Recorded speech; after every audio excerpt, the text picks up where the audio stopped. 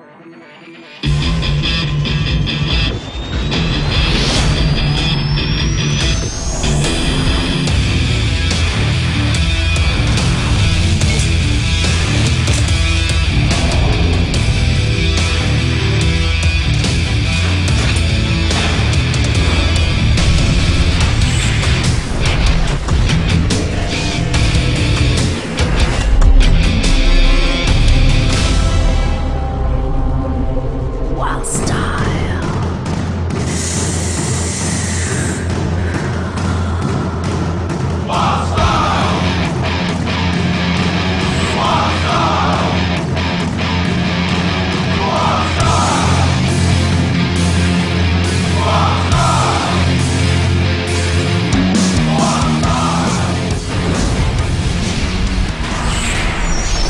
Y finalizamos la rueda de entrevistas en el Leyendas del Rock en esta jornada de viernes con la reina del metal, Doro Pets, que tocará un poquito más tarde en la noche.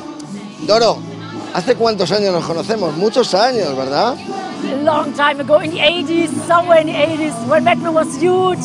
Yeah, and you were always so kind and so supportive. I, I deeply appreciate that still to this day. Creo que tienes compuesto nuevo material para eh, un nuevo álbum. Eh, Yes. Yeah. Parece que has comentado que primero te gustaría sacar un single, un EP y un videoclip. Yeah. Háblanos sobre ello, por Yeah. favor. Yeah, actually, I wanna, I wanna release the single because I feel it's such a great song, and I wanna do a nice video clip, maybe with crowd funding, something what is really, you know, has high, high quality, nothing cheap. So I wanna, I wanna do it this month, and yeah, and then putting something out to to have the people, yeah, not wait forever for a new album. And I feel this song is now, I think it has now the energy. Who knows what will be in one or two years? So I feel, you know, the momentum is sometimes important. It's a mid-tempo song, but uh, it's very soulful. There's a beautiful melody. So I can't wait. So I want to put it out like yeah, in autumn. Por favor, cuéntame algo sobre esa canción. ¿Cómo es esa canción? ¿Tiene título esa canción? Por favor, adelántanos algo. Yeah. That's actually, I never said the title before because I thought, you know, I. But I, I will tell you, it's it's called Love's Gracias, Gone gracias. to Hell. Love's Gone to Hell, that's, um, that's the title. And I think it's, it has great melodies, very, very emotional. And I think the, the Love's Gone to Hell video will be as great. So, you know, we are, yeah, we're writing like the script and it will be bad performance, but it will have a little sort of a road movie, like a, you know, like a screwed up love story kind of. ¿Pero es una balada o un tema con caña, con potencia?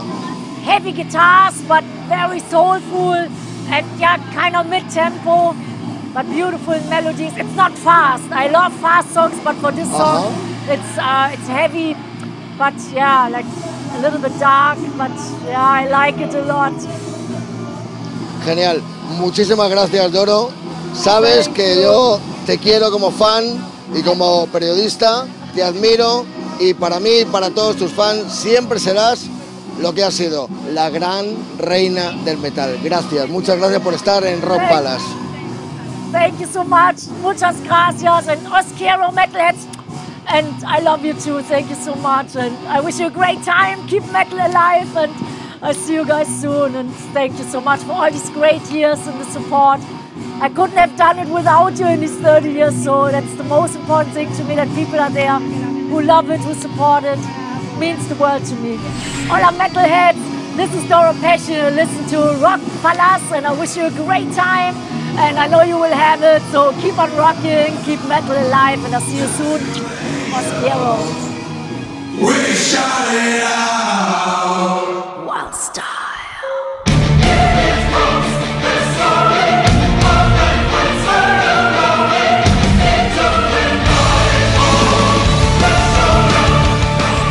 Okay, so thank you very much for being here and having time for Rock Palace in your visit to Leyendas del Rock. I would like to begin uh, talking about uh, Fire and Ashes. Okay, your new uh, your new EP. Uh, I would like to know um, for the people that has not listened to it yet, how would you describe it? Uh, it's a bit of new, it's a bit of old. Um, I think that was is what uh, Fire and Ashes res- resembles. Ashes, of course, being the, the older songs. Yeah. We have two remakes of Xandria classics, Ravenheart and Now and Forever. And then we also have three new songs, uh, which of course then is Fire. And as a bonus, we also have two covers. Two covers. Which ones? yes. We have um, I Would Do Anything for Love, but I Won't Do That. Meatloaf cover, yes. and uh, a cover of uh, Sonata Arctica, Don't Say a Word. So Yeah. perfect. It is. I want to listen to that. You have to. Yeah, of course. I will. And also, you have been together for almost two years now, Um, then, yeah, yes, almost. Yeah. more or less. Yeah. Uh, can you say that this EP um, make a perfect fit between all the members of the band? Yeah, sure, sure. Um, I think it's it's uh, it, it's a, little bit of a showcase of what, what we are now. What we are now. Uh, it shows the development of the band in the last two years, and, and I think it's it's it's pretty obvious that we are feeling good, that, uh, that we have a good chemistry in the band, and uh, shows also the, the way we want to go together in the future. So, a part of bands, are you like friends also? It fits together. Yeah, we, we've grown a lot together uh, within all this touring. You know, uh, w- when I come home, I always talk of my second family. You know, uh, when when I'm off the road, I'm with my first family. When I'm back on the road, I'm with my second family because uh, how many shows? More than hundred, something like this. Yeah, and and so you you're, you're spending all your time together. So, you, you, sh- you share your bed, you, sh- you share your breakfast table, you share your lunch table, and all this stuff. You know, you are like a family. So Yeah. this is what it is. And also for Europe, when can we expect to have Chan- Xandria on a European tour, for example? First, we will be uh, supporting Powerwolf in September. There will be some European dates, but uh, there's also something coming up for next year. That is still to be announced. Okay, not confirmed yet. Yeah, we- we're already talking about doing some headlining tour early next year, but nothing's confirmed yet. Well, you have grown up very quickly from the last time I checked you. Okay. You, More or less. no, but you grew. You, well, of course, uh, it depends on when you checked the last time, you know. But you have continued growing and growing. So it's perfect that you. Do you think you got headline here in Spain yet? Uh, we, we've done a pretty short headlining tour in 2013 already, and but, but this was only the start. You know, 2013 this small headlining Yeah. tour. Today we're doing the Leyendas of Rock, just to showcase what the band is about now, and uh, we can hopefully return next year with some more headlining dates in Spain. Let's see what happens. That will be perfect. Hi, we are Xandria. I'm Steven. I am Marco. And I'm Diane. And you are watching Rock, Palace.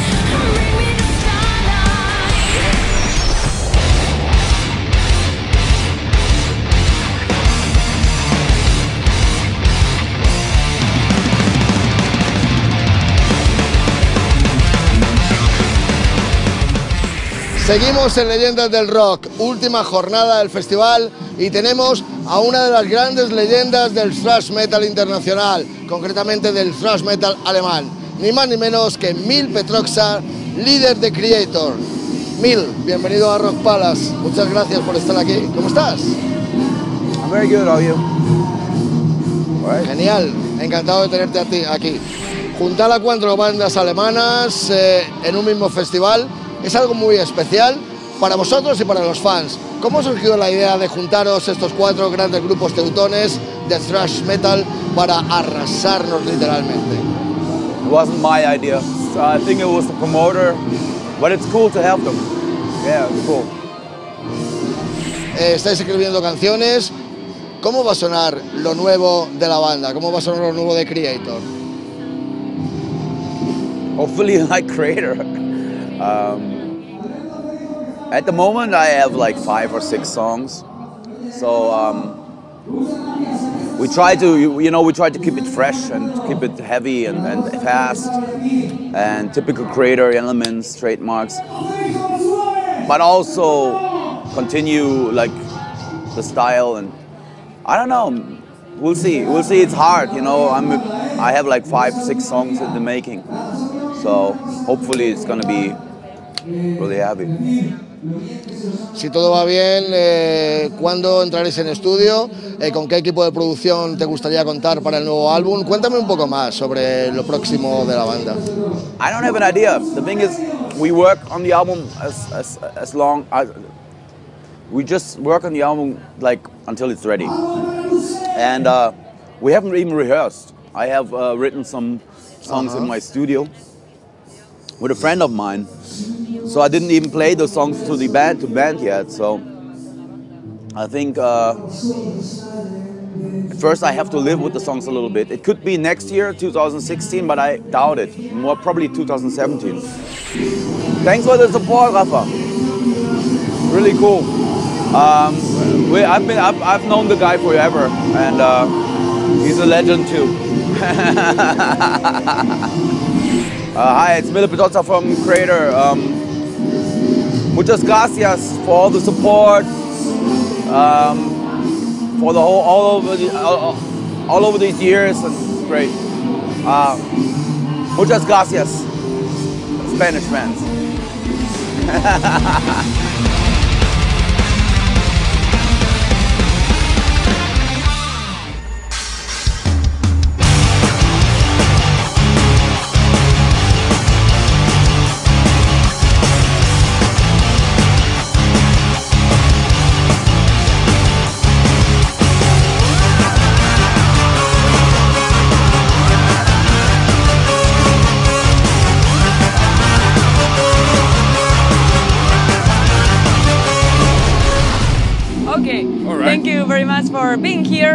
Leyendas Rock and having a little bit of your time for Rock Palace, which is the program you're doing the interview for. Perfect.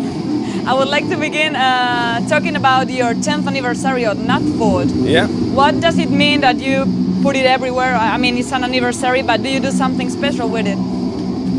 Well, it was just, uh, yeah, it was exactly 10 years since we released the album, so um, we wanted to do something special for an, another European tour, and we just decided 10 years since Nattfödd, it's an important album for the folk metal scene, so why not do?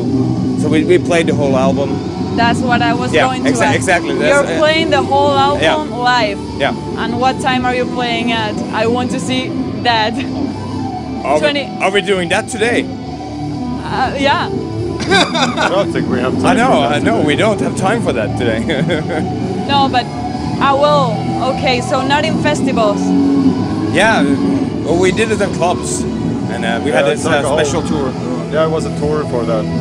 Okay, but today in the festival you're playing. We're playing like something from like every album. It's uh, Okay. Plus, it's like a, uh, how long we play today? It's like an hour is yeah, something not like that. enough. But, um, and also, it's been 11 years now since the Nattfödd album, so it's it's not an anniversary anymore. Plus, we had a set that's like hour, 30 minutes long or something. Or can't fit a proper set in 45 You have, minutes. you have to play very quickly. Exactly. Double tempo, yeah.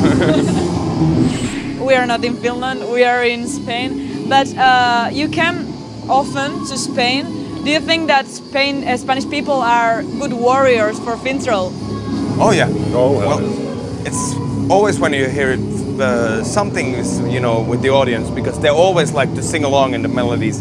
They sing really, really, really, really like uh, It's, loud. it's like, um, you know, like the folk thing. Yeah. Like what it means. It's people music. That's what's folk music. And uh, the tour we did, it was crazy audience. When we, we had four shows in Spain.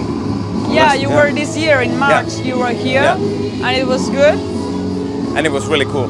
You know, it was smaller than you know your average German concert, but you know, the percent that were you know active and uh, you know singing along was like way higher than in, for yeah, example. actually, the really, really cool thing is like we had three completely different bands. This like uh, Profane Omen, Hatesphere, Finntroll. Which ones? Profane Omen from Finland, uh, Hatesphere from Denmark, and us. We did the Spanish shows. Really cool thing is like with the Spanish, ge- like you know, like people don't go to see Finntroll, or there's the three different metal bands, and everybody gets a really awesome audio. You know, like Profane Omen starts starts with a mosh pit, and a mosh pit goes on until we're done. That's cool. Nothing to complain about. And that's the awesome thing. It's completely different three metal bands. You know, like it's ridiculous that people get into this. Oh, but it's death metal from Denmark, and that's a folk band from Finland. I don't like that. What's wrong with you? It's music. It's good music. So No, it goes well together. yeah, yeah. But that's the awesome thing in Spain. It's like Yeah. everybody got a good audio. In Spain, if we like Finntroll, we go for Finntroll and we listen to the other bands. And if we liked it also, Exactly. well, Circle Pit, Exactly. If it's Yeah, not exactly, shit. exactly. Exactly. If it's good, Circle Pit. Yeah. And if it's bad, Dead Wall.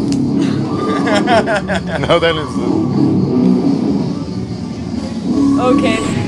Hello, I'm Red. I'm the singer for Fintroll, I'm Screamer, guitars from Fintroll. and you are watching Rock Palace.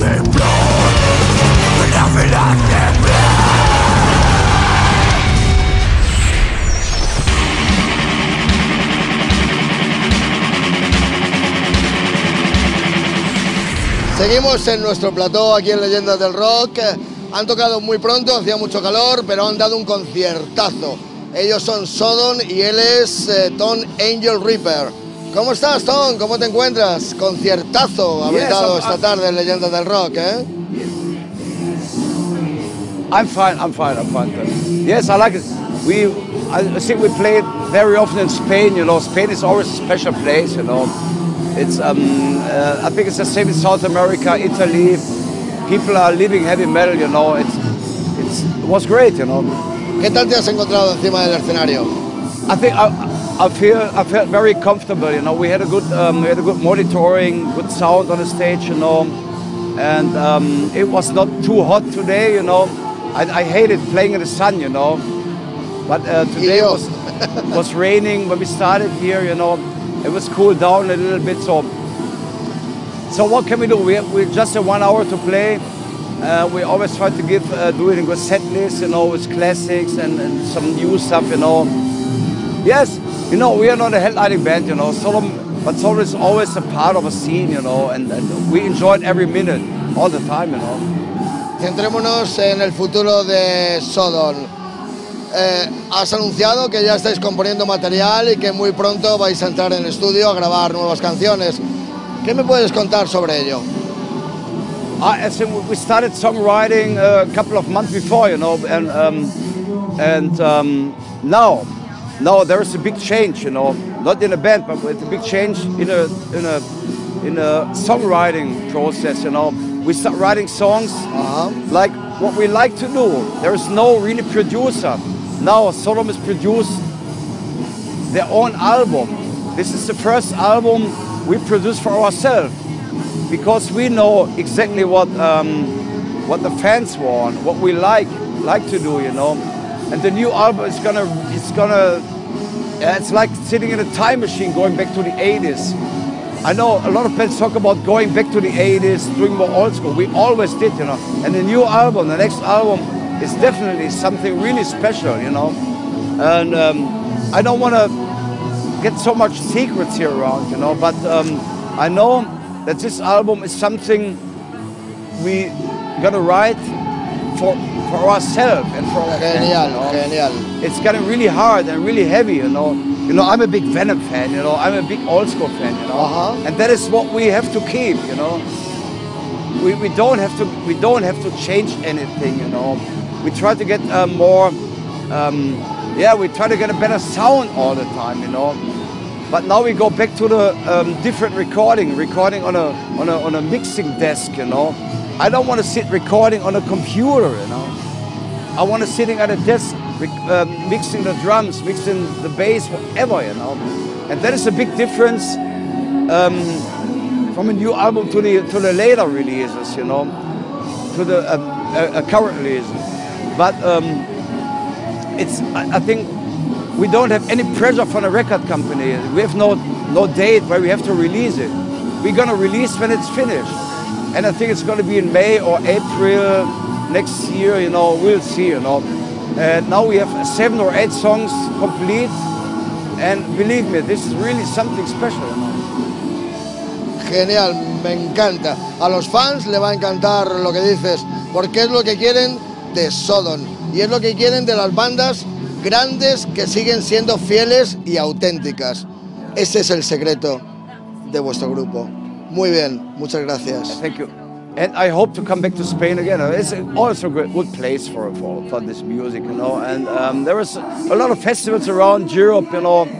But being here is always, we always been in Spain, you know, from the beginning, you know. And we always, hey, we come back. If, whenever you want to see a Solemn show, you get it. Thank you so much. Claro que sí, claro que sí. Os estamos esperando, ¿ok? Muchas gracias, amigo. Muchas gracias. Thrash Metal y Sodom.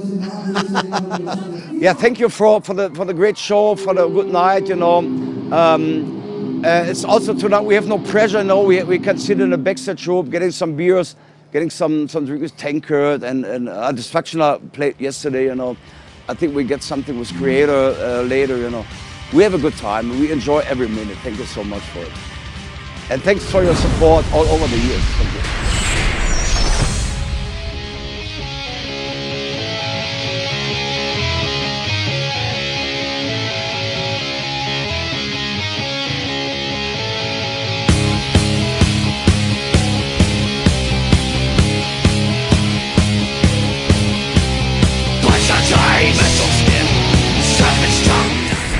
Todavía faltan muchas bandas por tocar en el festival, en Leyendas del Rock, visita nuestro plató en Rock Palace Frost de Satyricon.